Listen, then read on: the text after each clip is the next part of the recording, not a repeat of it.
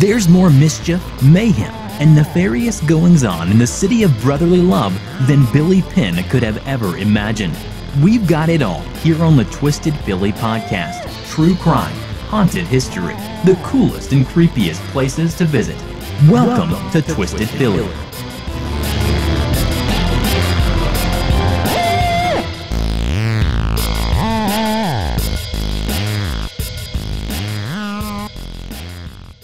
Hey, Twisters, what up?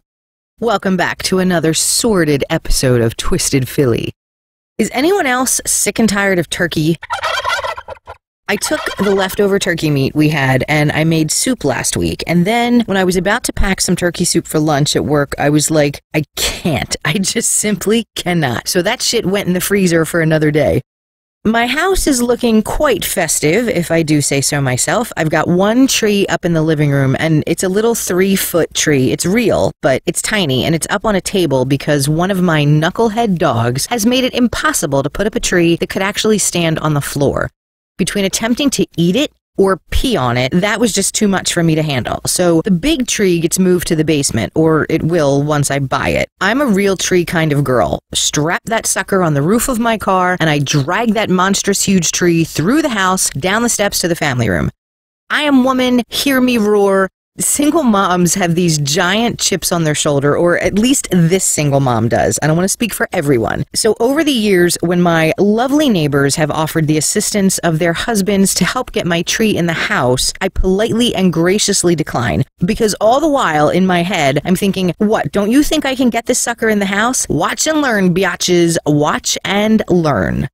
I have a Charles Griswold complex when it comes to Christmas trees. I think I live in a house with cathedral ceilings when in fact I do not. And the family room ceiling is even lower than the rest of the house because it's in the basement. So it's gotten really ridiculous when I try to put a tree in the stand and then I have to cut at least a foot off the top. Every year I say I'm buying a smaller tree, and every year my daughter tells me it's too big, but I don't believe her because they look so freaking small in the lots. But this year, I am committed to purchasing an appropriately sized tree for my space. Yeah, I don't even believe that bullshit. Before I jump into this week's twisted and nefarious story, let's talk about something called CrimeCon. Now, I didn't know crime conventions were a thing, but they are. I wish they were like Comic Con so we could play cosplay. I'd probably dress as Lizzie Borden in period clothes covered from head to toe in blood and a big fake axe that looks real as shit, but I'd make it out of resin or something so it couldn't actually hurt anyone. I wonder if I could convince the Crime Con folks to have a cosplay. Or maybe I could just show up in costume, even though it's not an official Crime Con cosplay thing. So, CrimeCon is June 9th through 11th in Indianapolis, Indiana. And their website describes the event as a celebration of all things true crime. CrimeCon brings the cases you love to life through immersive experiences, incredible guests, and a ton of mystery and intrigue. This is a weekend to celebrate your interest and even your obsession with true crime.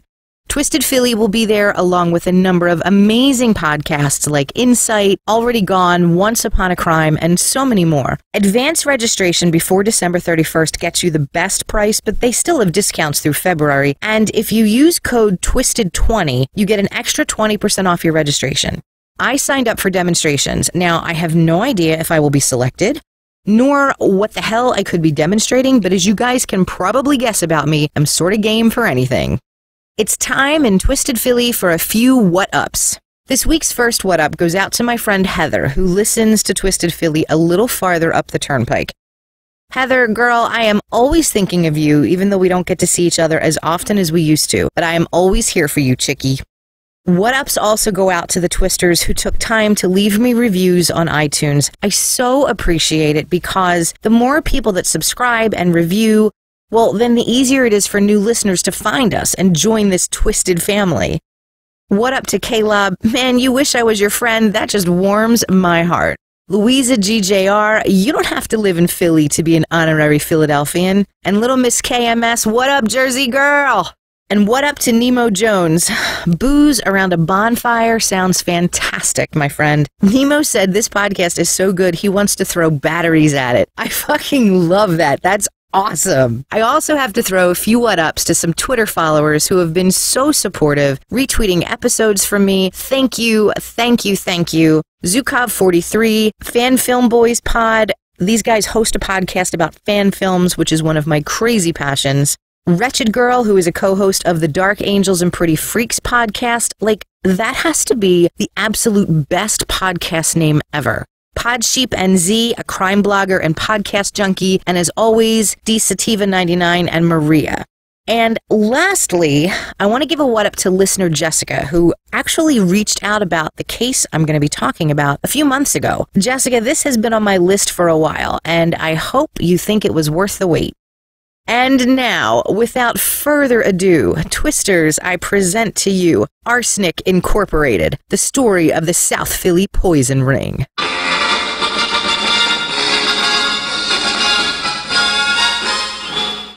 Oh, we got poison right here in Twisted Philly. That starts with T and that rhymes with P and that stands for poison. And I just riffed on the music, man. that, my friends, is paying a little homage to all the twisters who grew up in theater just like me. We're going back in time, something you guys know I absolutely love to do. I'd say we're going back to a simpler time, but dodging a poison ring doesn't sound all that simple to me. Philadelphia in the 1930s, much like the rest of the country, was suffering from the Great Depression. But unlike the rest of the country, while they were facing a 15% unemployment rate, Philly was doing so much worse at a 25% unemployment rate. There were about 2 million residents in the city of Philadelphia then, so we're talking about a half a million people out of a job. That's a lot of stressed out, desperate people in one city. And the tragic thing about so many out of work people was there were factories that sat idle because businesses went under, especially businesses like the textile industry, which was a huge part of the Philly economy. And a decline in textiles means a large population of tailors were out of work too. And in Philly, the population actually declined in the late 30s. Less people were getting married, less people had babies. I mean, how could you provide for a wife and child? Women certainly weren't encouraged to provide for themselves back then the city started to fall apart little by little. More people suffered from malnutrition and medical neglect. The lack of human care was equal to the lack of city care. So streets weren't being repaired, like streetlights were left broken. People could barely hold on to their homes. And if you could hold on to your home, you couldn't afford to do much maintenance to it. So the city just got shabby. The late 30s and 40s were pretty damn rough all over, and especially in Philly. In desperate times, some people see an opportunity. The dregs of humanity are attracted to people's desperation. The scum of the earth look at others' misfortune as an open door to take advantage of their fellow man and woman, and Philly was rife with opportunity to scam and bamboozle and swindle and steal. Enter the Petrillo cousins, stage left. The Petrillo boys, or at least one of them, possessed a very particular set of skills. Skills they acquired over a very long career. Skills that became a nightmare for the city of Philadelphia. Yeah, I just ripped Taken too. but it works, right? It kind of works. So what were these skills? So what were these skills? Paul Petrillo started out as a reputable tailor. He emigrated to Philly from Naples, Italy in 1910, and soon after he opened up his own tailor shop. He was called Paul Petrillo, the tailor to classy dressers, and his business thrived. Philly was a city known for expert tailors, especially in the 20s and 30s. But when the textile industry collapsed during the Depression, Paul lost his shop and was facing financial ruin. His cousin Herman Petrillo emigrated from Campania the same year as Paul, but he didn't really start out as a legitimate businessman like his cousin. He tried his hand as a barber, but Herman thought there had to be an easier way to make a buck. Easy, sure. Legal, yeah, not so much. Arson seemed like a good idea to Herman, but it didn't last long because you burn down a bunch of buildings and eventually someone's going to start asking questions. A chance encounter with a couple of guys even more unscrupulous than Herman introduced him to the art of counterfeiting. And Paul, well, what's an out of work tailor supposed to do? Insurance scams, that's what. He sold cheap policies with 50 cent premiums to the elderly and the infirm. You ever hear the expression one foot in the bed and one in the grave? Well, that describes Paul's perfect customer. As if that wasn't sleazy enough, he would list himself as a brother or a cousin of the insured when there was little to no family to be found, and then he would reap the insurance benefits. As if these two screw ups weren't enough, let's just add another player to this sordid story. Dr. Morris Bulber, or Louis the Rabbi, as he was known to his friends, and he wasn't really a rabbi. I mean, you guys probably guessed that. Bulber was a Russian immigrant who came to America just after the Petrillos in 1911. Growing up in Russia, he was kind of a genius. He started Russian university when he was nine, and then he graduated when he was 12 and became a tutor. Because, you know, child labor wasn't really a thing in the late 1800s. While he was tutoring, he discovered the Kabbalah, and Morris Bulber became obsessed with mysticism. In 1905, he traveled to China to study with a sorceress. Now, I don't know if she really was a sorceress or a hack, but Bulber lived with her for five years, learning to make potions and poisons. Morris Bulber landed in America in 1911 and he lived in New York for almost 20 years, running a successful grocery store until 1931 and, you guessed it, the Depression, so no more grocery store. So it was time for the Bulber family to move, and he said Philadelphia is the place we ought to be, so they loaded up the truck and they moved to Philly which had a slew of desperate unemployed people and a couple of con artists just waiting for a partner to form a nefarious trio. Morris Bulber set up shop in Philly as a faith healer and added the initials DR before his name, and it was Morris who first conceived the nefarious plan enabling him and the Petrillo cousins to get rich quick. And it started in 1932. So Bulber had a female patient who complained about her husband's infidelity, what she should have been complaining about was the fact that she was seeing a quack, but in any case, enter Paul Petrillo. Bulber and Petrillo concocted a scheme where Paul would seduce this neglected woman and convince her to buy a life insurance policy on her husband. Then Morris and Paul would murder her husband and split the insurance windfall with the wife. The policy was valued at $10,000 in 1932, which today would be worth about $120,000. The first victim of this duo was a man named Anthony Giscabe. Anthony was a known alcoholic, and one cold winter night when he was passed out drunk, his wife stripped him of his clothes and left him next to an open window where he caught his death of cold. Literally. He died from a combination of consumption and medical neglect. When Paul realized how easy the scam was, he went in search of more miserable married women who might be interested in making a bundle at their husband's demise. But see, the problem was most men, and I should say most Italian men, because this group seemed to predominantly attack Italian immigrants.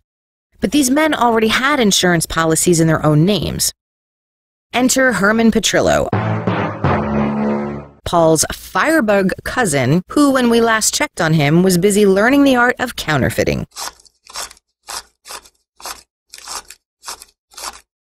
Herman was also a part time actor, so who better to play the part of potential victims? Herman pretended to be the husbands of miserable wives who reached out to Morris and Paul for help.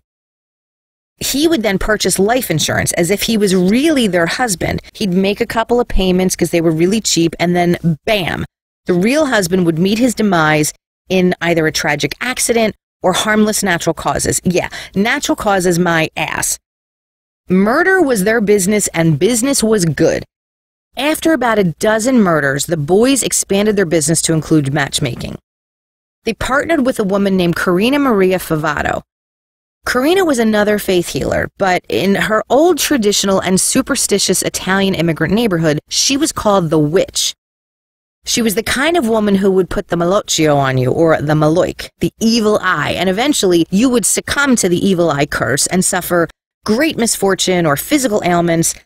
So I'm part Sicilian, and I gotta be honest, I am superstitious as hell. Like, do not open an umbrella inside around me. I have actually cried when people have done that. Like, I am a total freak with umbrellas. Karina wasn't a witch, but she was a marriage consultant, as in, you want to get rid of your husband, make some money, maybe find a new husband, and then get rid of him, make some more money. Her curses, or witch's brew, were nothing more than arsenic. Now, the Petrillo brothers and Bulber couldn't let Karina Favato corner the market on murder for hire, so instead of competing with her, they brought her in and partnered up with her. By that point, she had already killed three men in her own family. Her first husband, Giuseppe Di Martino, she collected almost $2,000 for his death. Then she killed her common law husband, Charles Ingraio, she got eight grand for him. And then she killed her stepson, Charles's son, Philippe. And for Philippe, she got almost $7,000. That's a lot of money for a hopeless, lonely widow in 1935. Like, that's 200 grand today. And with the addition of Karina Favato and her long list of potential clients, the Philly poison ring was officially sprung.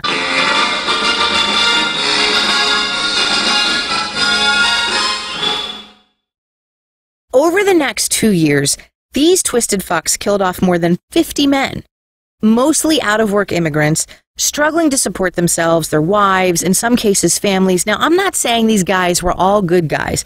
Some were shiftless, some were abusive, but for the 50 or more murders in the city of Philadelphia that were uncovered, there were countless others that were either unsolved or undocumented.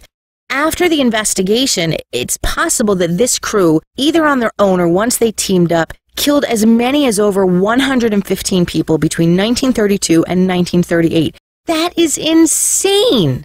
That's almost a murder a month. So, how did these guys get caught? Well, besides the obvious reasons, right? Hello, you're killing a bunch of people. Well, someone sung like a canary. A gentleman named George Meyer was down on his luck. Now, he was just released from prison in 1938 and he was trying to start an upholstery cleaning business. I don't know whose upholstery he would be cleaning with so many people losing their homes and their belongings, but that was his dream. And George knew about the Petrillos, especially about Herman Petrillo and his counterfeiting business. So he caught up with Herman and asked to borrow some money. Not a good idea, George. Herman made George an offer. He could borrow $600 cash or $2,500 in counterfeit cash if George would do a little job for Herman. Herman needed someone killed. A man named Ferdinand Alfonsi. Now, Ferdinand wasn't anyone special. He was poor, he was a day laborer, he was someone who got up every day and wandered the city looking for work, sometimes getting picked up for a job here and there just for a day. But like so many other poor Italian men in South Philadelphia, Ferdinand was on the hit list because of a pissed off wife. Herman Petrillo suggested George Meyer hit Alfonsi in the head with a pipe, then toss him down a flight of steps. The crime ring wanted it to look like an accident so that a double indemnity clause would kick in gee, these guys, you know, they think of everything. Herman even had a pipe for George that he could use. George was desperate, so he went as far as to actually go to Ferdinand Alfonsi's house with Herman Petrillo. But then he backed out. Good thinking, George. He just got out of jail. The last thing he needed was something that would land him back in the clink again. George was so freaked out by his experience with Herman Petrillo that he went to the Philadelphia police with a story about attempted murder, but the cops didn't believe him. George must have been a pretty tenacious dude because he didn't let that stop him from turning in Herman Petrillo. George Meyer went to see the head of the Philadelphia branch of the Secret Service, a man named William Lanvoigt. But that might not actually be his real name because Billy Boy did a lot of undercover work. From what I read, this was the name that was given to the press and used in police reports, which I think is pretty freaking cool. Undercover work back in the 30s. Like, I imagine him walking around in a dark trench coat and a fedora, which probably would have been a dead giveaway that he was law enforcement. So that's probably not at all what he wore. But in my mind, that's exactly how he dressed. And like Philadelphia police, William Lanvoigt was skeptical at first about the murder for hire scheme, but he did know who Herman Petrillo was, and he knew that he was wanted on suspicion of counterfeiting. And every time the city of Philadelphia or the Secret Service set up a sting operation to catch Herman Petrillo with counterfeit money on him, there was nothing. They came up empty handed. So Lanvoigt decided to dig around, and he assigned an agent, Stanley Phillips, to investigate. Phillips pretended he was an assassin for hire. Again, my mind pictures film noir double agent wearing a fedora, but he was probably dressed like a Depression era day laborer. Agent Phillips and Herman Petrillo meet, and Phillips says he heard about the hit and he was willing to step in for George since George backed out. These two spent plenty of time talking about the best way to murder Ferdinand Alfonsi. Now, the crime ring's preferred method of killing was either poison, but that can take a while, and so far Alfonsi was still kicking or a sandbag to the back of the head. That doesn't do much damage to the outside, but on the inside of your skull, it's one hell of a hemorrhage. They even talked about hitting Ferdinand Alfonsi with a car, and Agent Phillips was hoping Herman Petrillo would either give him money to buy a car for the hit or pay him in advance. with counterfeit money. But Herman had trouble getting his hands on the fake cash right away, and this dragged on for weeks. Agent Phillips tried to buy counterfeit bills from Petrillo, but just like before, he said it would take him a while. Now, George Meyer wasn't out of the picture. He was so worried about Ferdinand Alfonsi, he went to his house pretending to be a contractor looking for work. Mrs. Alfonsi answered the door, and she said her husband was unwell and too ill to come and speak with George, and George knew exactly what that meant. The reason Herman Petrillo wanted a hit on Alfonsi was because this dude just wouldn't die. His wife had been pumping him full of arsenic all summer, and he got sicker and sicker, but he hung on. Not long after that, Herman Petrillo contacted Phillips and told him he had the counterfeit money Phillips wanted to buy. So Agent Phillips, George Meyer, and Herman, they all meet at a bus stop in South Philly. And sure enough, Petrillo's got on him an envelope full of bogus $5 bills. So great. They finally got this asshole on counterfeiting, but the bigger issue is attempted murder. Agent Phillips asked Petrillo, What about that hit? Do you still want me to take out that guy Alfonsi? I'm down. And Herman Petrillo tells Phillips that his services in that capacity are no longer needed because Alfonsi is in the stomach hospital and probably won't be checking out. The stomach hospital? What the hell is a stomach hospital? Like, that's a thing? It sure as shit was. The American Hospital for Diseases of the Stomach. It sat at 1809 Wallace Street. It was established in 1896 to treat diseases of the gastrointestinal tract and other related ailments. Like, that'd be a real fun place to work. And like much of Philadelphia's medical history, this was the first hospital of its kind in the country. Today, it's a giant open space with what looks like co op gardens, which is really cool. There's no remnants, though, of the stomach hospital. But in 1938, it's where Frank Alfonsi lingered for two months before finally succumbing to a mysterious illness. So at this point, Philly police have Herman Petrillo for counterfeiting, but that's all they have. They don't have him for murder. They don't have his cousin Paul Petrillo. They don't have Morris Bulber, aka Louis the Rabbi, and they don't have the witch Karina Maria Favato. The police tried to get Herman on attempted murder, but when Alfonsi died, well, now they had him for murder. And they could have had Herman and everyone else in this poison ring much sooner because everyone in the city knew about it, including Philadelphia District Attorney Charles Kelly.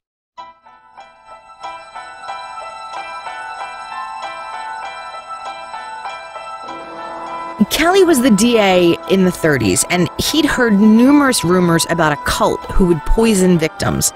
But he thought the stories were bizarre, and he was uncomfortable starting up an investigation over something so twisted. Seriously? It's the 30s. It's not like you had DNA testing to help solve cases. All you had at your disposal was rumor and speculation. That's the trail you have to follow. Fortunately for the city of Philadelphia, a new assistant district attorney was in town, a guy named Vince McDevitt. Vince grew up in West Philly. He was one of five children with a single mother. His father passed away when he was only 14. Vince and his older brother worked to help his mother provide for their siblings, and that was basically his childhood. Until the family burdens lightened, and then his mother pushed Vince to go back to school. He became an attorney in 1929, and less than 10 years later, he was the ADA in Philadelphia. He didn't think stories of the poison ring cult were too bizarre to investigate when he heard about Frank Alfonsi's death. With enough arsenic in his system to kill a few people. He knew Herman Petrillo had to be connected to the larger story, but ADA McDevitt didn't expect to get much out of this guy. He was a hardened criminal, a counterfeiter, the leader of a poison ring, and an actor. Like, Jesus, that's a hell of a resume. But McDevitt couldn't have been more surprised if he woke up with his head stapled to the carpet because when he questioned Herman Petrillo, he didn't sing like a canary, he sang like Mariah Carey.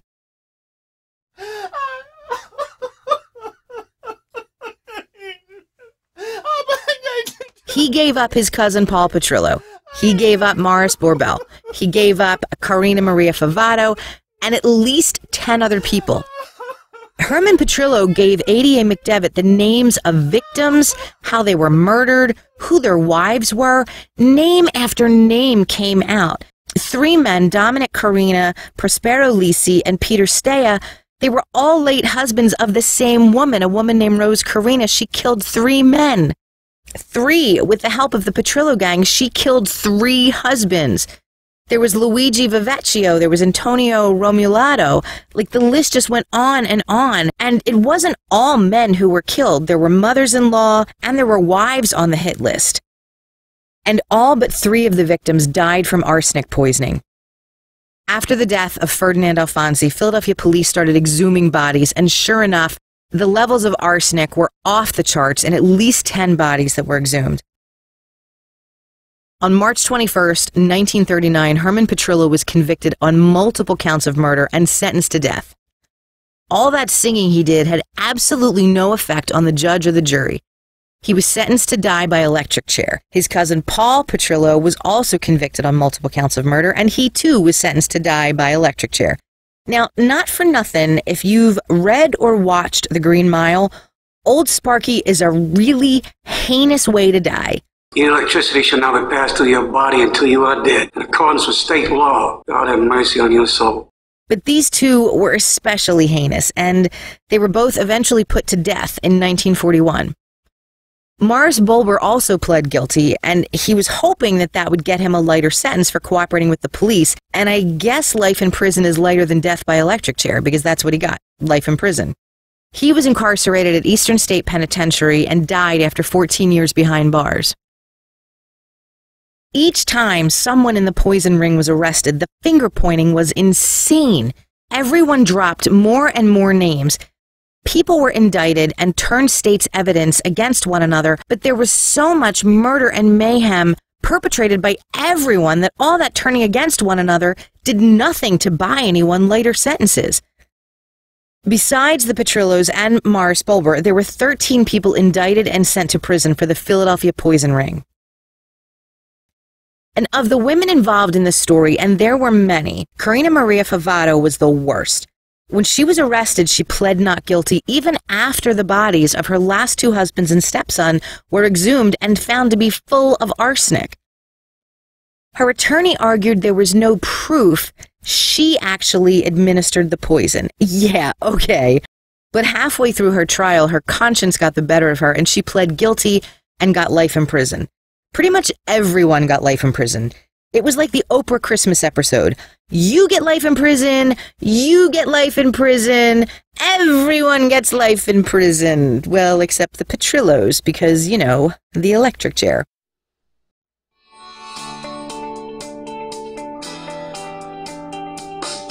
Now, you might not expect me to say that I enjoyed researching a story with over 50 murders, maybe as many as 100 or more. But I enjoy every story I research.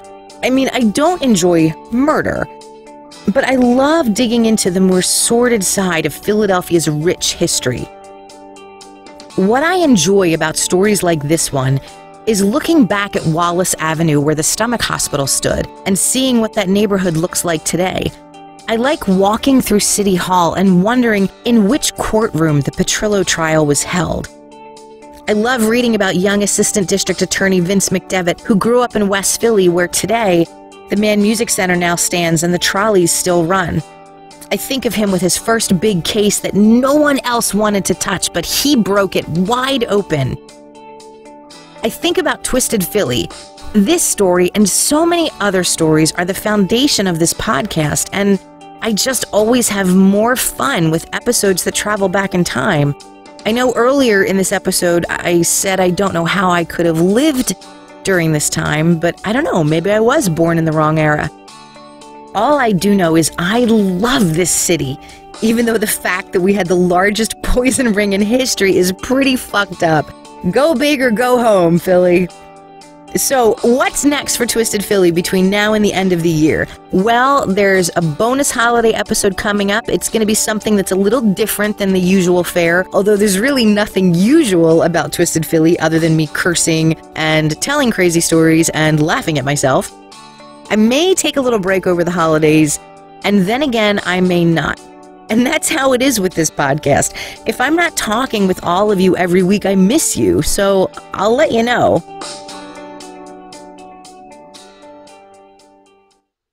In the meantime, make sure if you're in the midst of a marital disagreement to prepare your own food.